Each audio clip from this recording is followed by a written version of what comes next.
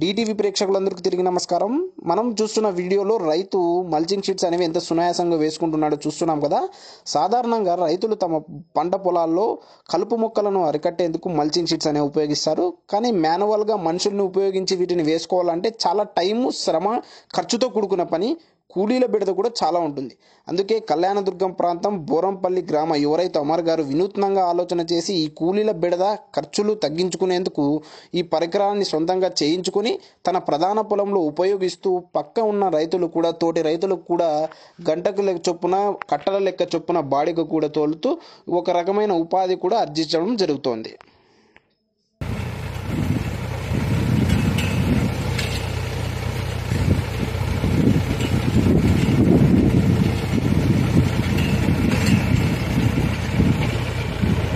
ആ ഉണ്ട് ഉണ്ട്